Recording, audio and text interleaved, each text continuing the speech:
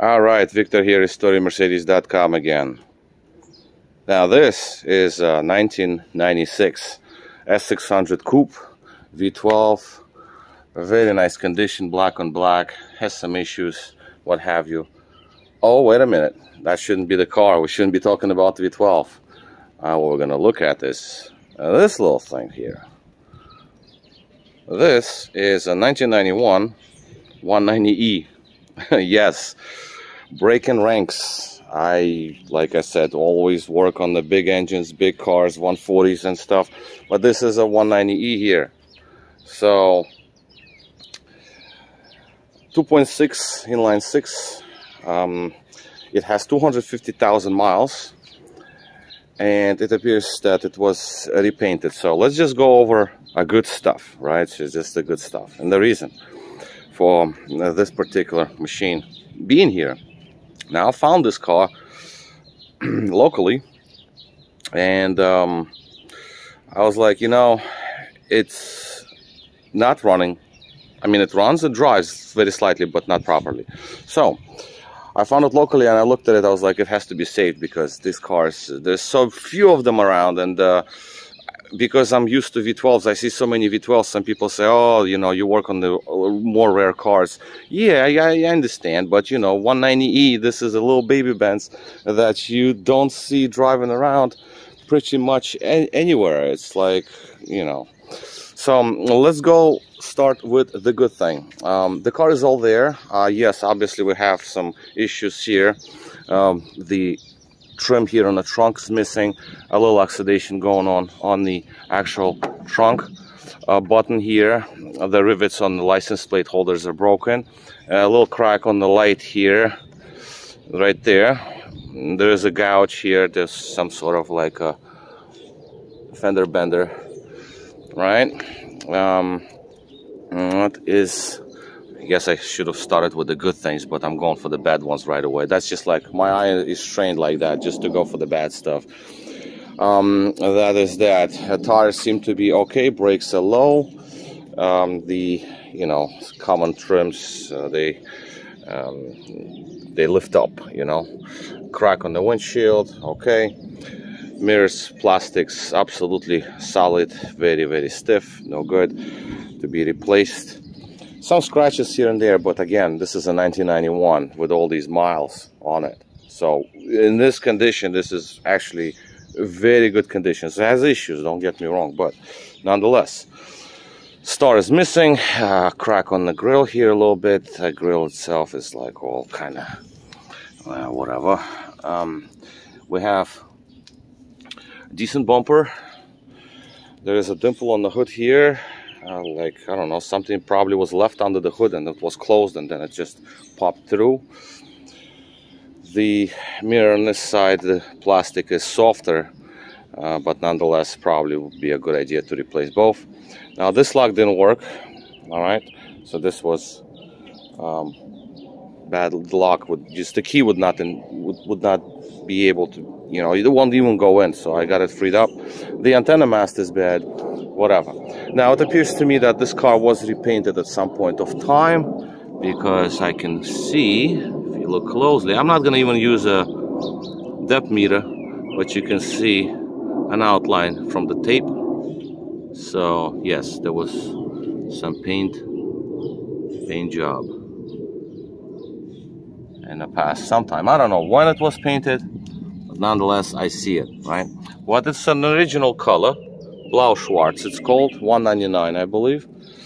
Um, that's what it is. And then I guess it was painted many, many years ago because all these little damages, they don't show up after like, you know, recent paint job. This is, the paint job was done a while back, but it seems to be done pretty good. I don't see any kind of sign of accidents, but it, you know, it doesn't matter for this particular vehicle at this point because it's just what it is. So central locking works. So I can actually put the key in here and open the car. And we have a three pedal car you know. Stick shift five speed. Now it's not a sport line uh, but uh, nonetheless because it's this you know manual transmission that's a pretty cool thing. Interior yes the leather on seats and the seat itself and this is flat that's to be dealt with. A bolster here a little bit of wear. Well again this all look original. This is amazing how it actually survived in this condition. Somebody looked after it. So mm, that's a very good thing. The dashboard is good. The rear view mirror is loose. Yeah that's that. Sunroof works. Dome light switches are messed up um, the contact points are bad. Headliner seems to be good. Third brake light is in place. And seats move. Even air conditioner tried to actually work. The wood trims are also good. And that's also kind of a strange fact. Steering wheel maybe it was redone because I don't know. So many miles and the steering wheel is still kind of decent cluster and all that is good. Uh, the vents here are loose. Yeah so that. What um the door paneling coming up you know a little bit lifting up a little bit here and there. Oh yeah look at that door panel. This thing is like not even secured. I didn't even look but um because the problem is what's bothering me right now. It's the problem with this car. Well like i said before we go to the problem and uh, because I gave the hint about that this car actually drives a little bit you can kind of sense the problem already. Because it's kind of common on these supposedly. Um, now in the engine bay the oxygen sensor is dead. Again this is like my preliminary look. I mean I cannot uh, do air fuel ratio. So that's dead. The um, brake fluid is uh, dirty. It has to be replaced. It seems like the engine had some work done to it uh, the oil leak is kind of not huge, which is also kind of strange, but you can clearly see silicone here. So somebody did the reseal, somebody resealed this engine, and maybe it was actually um, redone or rebuilt or what have you. The air pump, smoke pump is removed. A regular pulley is installed here. The that's the solenoid for that for this uh, air pump, which is blocked off. This one I blocked off. This is EGR. I don't care for the EGR. Batteries not secured. It's just sitting there. All right, whatever. At least it works. Coolant expansion tank is leaking.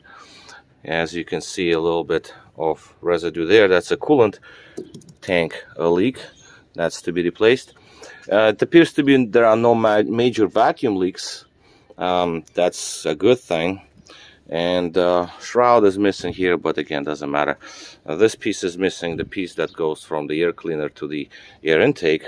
All right so this thing is a little it, like I said this is not uh, it's like all these things yes it takes a lot of time to get everything in order.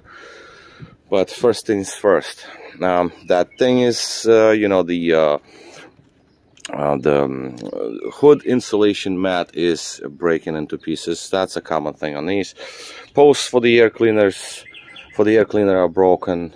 They're not there at all. It's just like it just lays there. And um, spark plugs, they were wrong ones, and I put in also wrong ones, but the proper ones are on order. So I replaced the spark plugs with the right ones. The AC was converted with just the adapter here so everything seems to be original R12 it doesn't work there's a leak somewhere in the system but at least the compressor seems like it was activating but mm, and the dye wasn't you know was installed. I mean it was introduced to the system in 2019 that's what the sticker says. I guess the AC didn't work ever since then. And and that's basically for now. That's enough.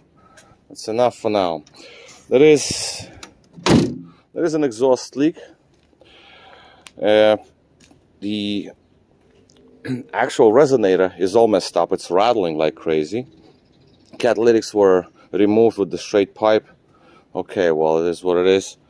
Rear exhaust, the muffler itself, that was replaced with some muffler, kind of recent, I guess, but the resonator is shot. Mm, yeah, that's that. So, you know, like I said, some scratches here and there. Brakes are low. Now, let's start the engine. See how it runs. It hasn't been started. Well, I would say maybe mm, a good like 16 17 18 hours or so yeah the driver's seat is making kind of like this bizarre sound oh yeah I did that. I had to do this first. The shifter was up like absolutely stuck. It would just like go, you know, like a first gear. I mean the second gear and and the third, uh, like three and four rather. I'm sorry, three and four, and to go to like first and second, you know, first, second, third, fourth, fifth, right, and then reverse.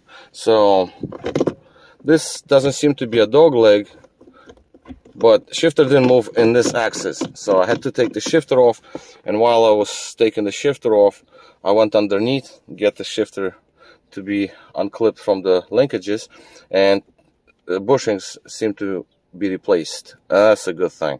So linkages, bushings are done. Not yesterday or anything, a few years back, but at least they're done. So that's a good thing. And here, uh, the bushings does, doesn't seem to be too bad. So I lubricated it, make it move. So yeah, it kind of, kind of like wiggles a bit, but I don't care for that right now. The panel was removed because the window switch was bad. So I just swapped the window switch for now just to get the driver's window to work. The radio seems to work. Believe it or not, it does, yes. Um, speakers are kind of shot, but nonetheless, at least the radio is operational. And there's really nothing else in this vehicle because this is a very basic machine. And um, this is CIS injection car, of course, so we'll start it up. This is the first start for the day. And it fired right up. Get the e-brakes on. As you can see, it fired right up. The idle speed will correct. That's also a good thing. Right? And that's that. And that's our exhaust leak. And the rattle.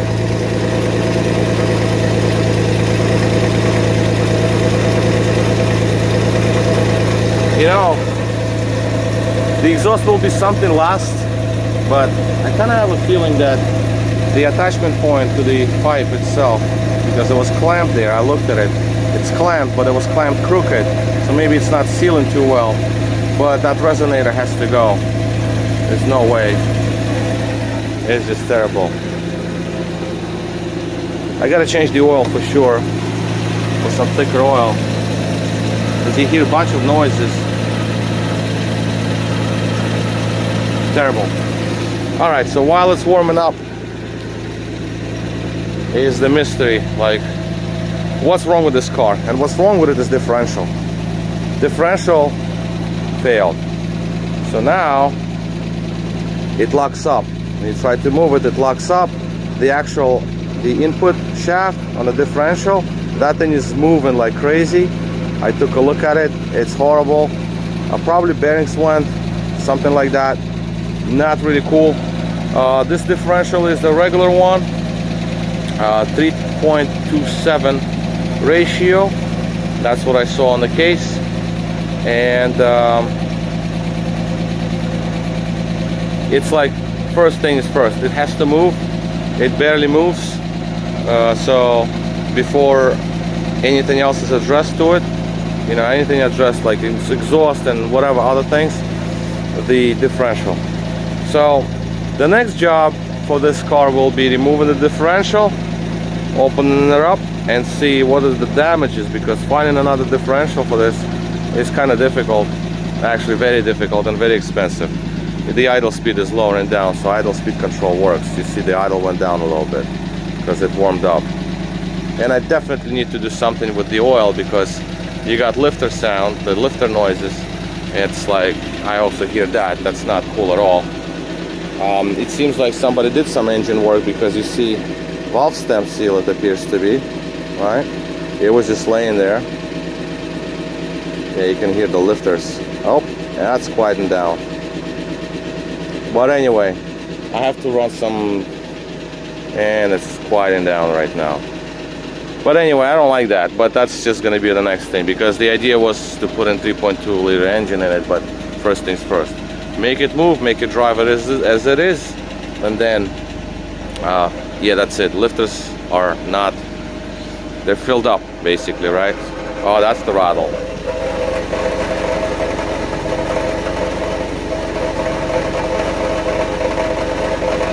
Kind of hideous sound I tell you.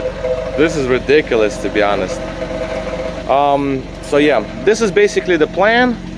Uh, but I have so many other cars I have that I have to fix up. So this is gonna be sort of like a differential remove checked out and then um, opened up and then see what can be done with it. And that's basically the idea. So the idle speed is going down. Obviously I can't drive with the exhaust like this. That's that's the thing. It's just this is horrible um, it also comes with the manual. Believe it or not it's still there original. Some trim pieces that are missing seems like they're in the trunk. I didn't didn't look yet but um, there are a few things laying here. Let's see uh, that's uh, seem to be the front wheel well covering. All right fine.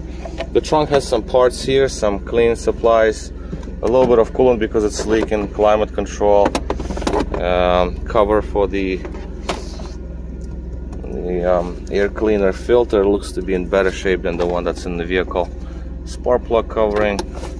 You got the rear suspension lower control arm rear lower control arm covers. Yeah see I don't see a plastic that goes above like a knee bolster rather yeah, I don't see it here that's a bummer. All right I got some seals here. The trunk seal is here. Maybe it's I mean I don't know. It's this is the second day. I just got it so I don't I didn't even look into the car into the details. I just washed it because it was very filthy. It sat unwashed for like months so therefore I cleaned I washed it a little bit because see th these areas they're not washed and they're pretty pretty dirty in there but the rest of the car cleaned up decently well.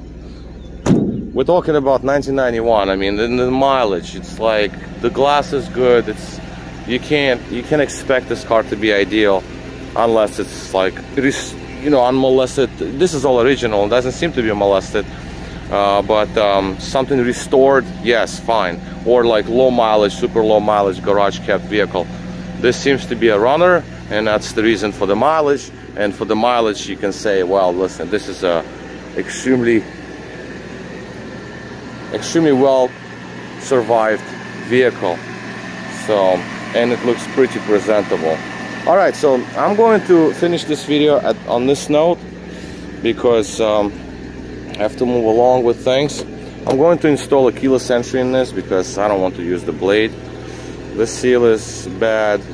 So yeah the differential is going to be a job and a half because um, well not job and a half it's a job you know it's just a job whatever. And then the rest of the vehicle the whole car is a job and a half that's the thing because there's so many little things that are wrong with it and it seems like it's just okay well it looks good I mean it's gonna be fine and you can just drive it as is. Yes you can but it's not going to be right.